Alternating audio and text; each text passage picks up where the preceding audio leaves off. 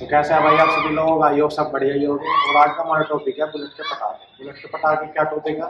ये टॉपिक है भाई, आज हम बात करेंगे, पहले तो हम बात करेंगे कि बुलेट के पटाखे कैसे फोड़े जाते हैं। मतलब मिस फायर टेक्निकल लैंग्वेज में बात करेंगे।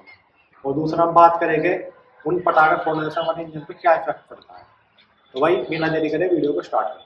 सबसे पहले बात कर लेता है कुछ अपनी बेसिक इन्फॉर्मेशन की, जो भाई पटाखों के लिए ज़रूरी है। सबसे पहले चीज़ है भाई अपना इंजन किल बटन जो कि भाई बहुत काम आने वाला और दूसरा बात है टोटल और तीसरा फ़र्क है भाई B S three B S four engine का और बी एस सिक्स इंजन का। बी एस सिक्स इंजन पटाखे क्यों नहीं मार पाता और बी एस फोर क्यों मार पाए? और बी एस थ्री भी। उसकी बात करूँगा मैं वीडियो के एंड में। पहले बात कर लेते हैं भाई अपना पटाखों की। तो भाई ये अपनी कुछ बेसिक इन्फॉर्मेशन होगी अब इसको करके दिखाएगा प्रैक्ट तो भाई सबसे पहले बाइक को अपने को स्टार्ट कर लेगा बुलेट को।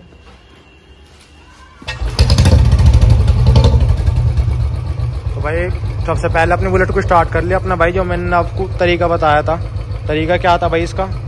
सबसे पहले भाई अपनी टोटल देना मतलब रेस देनी। रेस ज़्यादा स्पीड पे नहीं देनी, अपने भाई हल्की स्पीड पे देनी। लाइक दिस ठीक है भाई?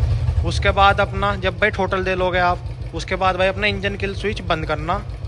और भाई, एक राइट टाइमिंग ऐसी चाहिए, जब इसको ऑन करना। वो राइट टाइमिंग कौन सी है, वो आपको बताऊँगा। पहले एक बार प्रैक्टिकल करके दिखा देता है।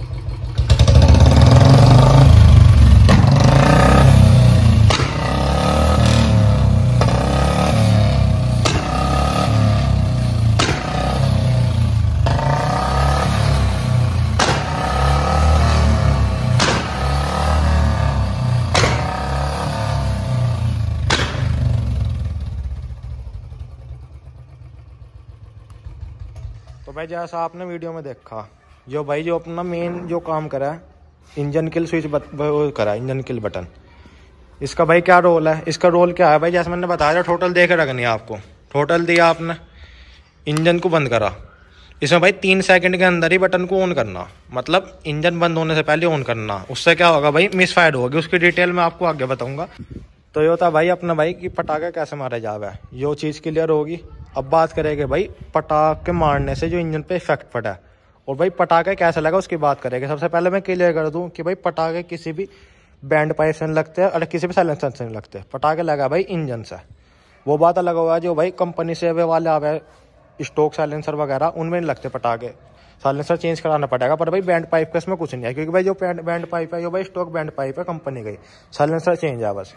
कंपनी वाले साइलेंसर लगते नहीं, क्योंकि उसमें भाई अपना जाली वगैरह होगा उसकी ज़्यादा इन्फॉर्मेशन मुझे इतनी पता नहीं, जितनी मैंने इन्फॉर्मेशन कलेक्ट करी, उस बेसिस पे आपको बता रहा है सारी चीज़ें।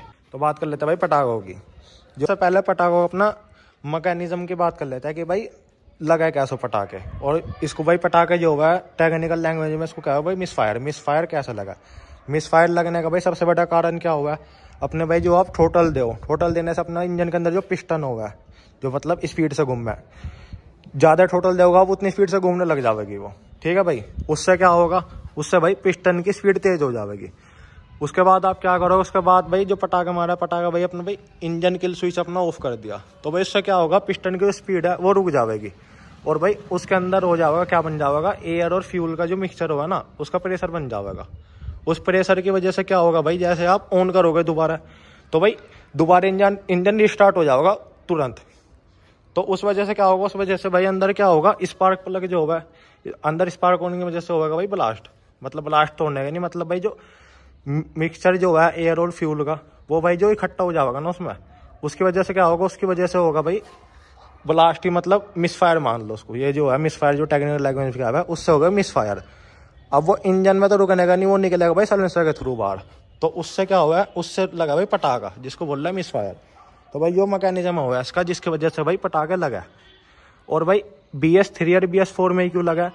क्योंकि भाई इसमें क्या हुआ, इसमें जब आप भाई इंजन के स्विच को बंद करके दोबारा स्टार्ट करोगे ना तो इसमें इंजन क्या होगा, तुरंत स्टार्ट हो जाएगा। पर जो बी एस सिक्स होगा ना अपनी, उसमें क्यों नहीं होने का उसमें भाई इंजेक्टर हो गया एक तो।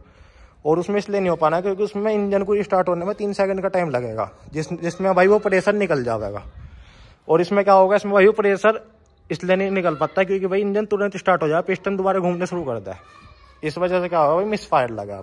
इसी का भाई इंजन में बहुत बड़ा इफ़ेक्ट पड़ेगा क्योंकि भाई जो अपना भाई मिस फायर होगा ना अंदर, जो मतलब ब्लास्ट टाइप हो गया वो एयर फ्यूल का मिक्सचर जो वो है, उससे क्या होगा, अपने अपने भाई पिस्टन पे भी इफ़ेक्ट पड़ेगा और भाई इंजन के बक हिस्से पर भी इफ़ेक्ट पड़ा इस चीज़ से, जिससे भाई इंजन की लाइफ कम होगा तो भाई पटाखे कुछ टाइम के लिए तो अच्छा लगेगा कि भाई आपको लग रहा कि पटाखे छूट रहे पर भाई इंजन में क्या हो रहा अंदर?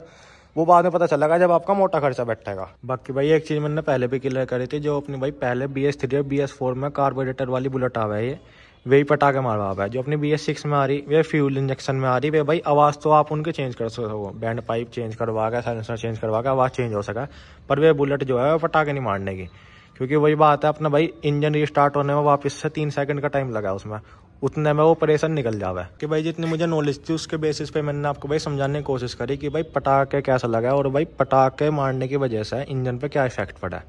पूरी भाई डिटेल में तो मैं जानेगा नहीं, पर मैंने आपको बार बार से बता दिया।